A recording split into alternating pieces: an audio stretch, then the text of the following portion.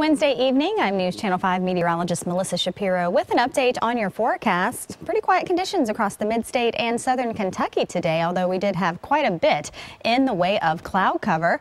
We've been watching some rainfall just off to our south and east in parts of Alabama, Georgia, and the Carolinas. A couple of those showers did skirt through our easternmost counties right along the Cumberland Plateau earlier in the day, but most of that rainfall has moved off to the east. Still could see an isolated shower or two move out of northern Alabama into those southernmost counties. But for the rest of the night, most of us are going to stay dry. Those clouds are going to hang with us, though, through the overnight and into the early part of our Thursday. Still mostly cloudy skies by 6 a.m. Continuing through our New Year's Eve, we'll see the clouds thin out a little bit during the afternoon, maybe get a few peeks of sunshine before they increase once again as we head toward midnight. So if you're going to be out around the area for New Year's Eve, dry weather expected, but temperatures are going to be a little on the chilly side, so you'll want to be prepared for that. By New Year's Day, again, plenty of sunshine, few clouds here and there, but overall our dry weather pattern is expected to continue. For tonight, we'll have cloudy skies and those chilly temperatures with lows dropping down into the upper 30s.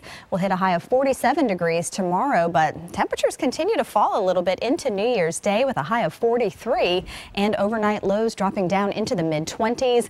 Lots of sunshine over the weekend, even into next week, but temperatures temperatures not warming up much. Highs will slowly inch up through the 40s, eventually returning to the low 50s by Tuesday and Wednesday next week.